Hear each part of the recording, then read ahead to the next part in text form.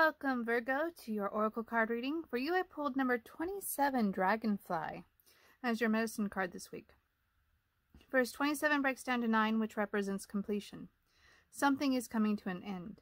I also want to note that dragonflies are also considered good luck. Dragonfly medicine is illusion.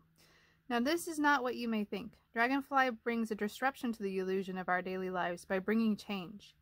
That disruption is going to break up your common routine and it could be a good disruption.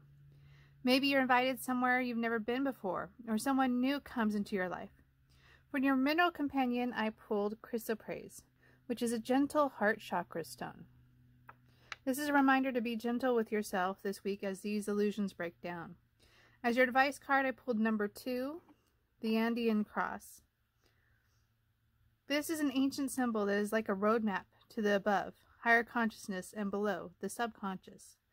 The advice here is that you are at the start of a great inner journey, and that, whether you know it or not, you already have the map and the steps. The steps are here on the Andean cross, and they take you into the underworld and into higher consciousness. This is a great week to break out the journal. Write down what your goals are and make a plan on how to achieve them. Finally, as your clarifying card, I pulled number 17, himself. First, 17 breaks down to 8, which is a number for rhythm and repetition. So we are dealing with a routine, a habit, or even work. Now this card symbolizes life force itself and vitality. So you have all of the energy that you need to deal with this disruption to your routine. This disruption is going to break you out of a stagnant pattern that you've been stuck in. So it's a beautiful wake-up call this week. So have a wonderful week, Virgo, and use this disruption to your benefit to improve your routine.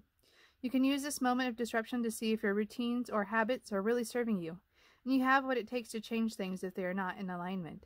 Bye for now.